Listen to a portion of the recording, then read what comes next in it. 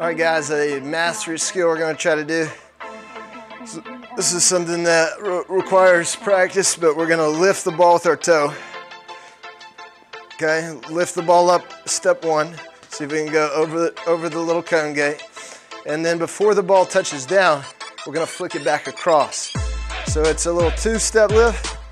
See if you can catch it back with your hand. We'll try it one more time. Okay, we're gonna lift over the cone, see if we can flick it back.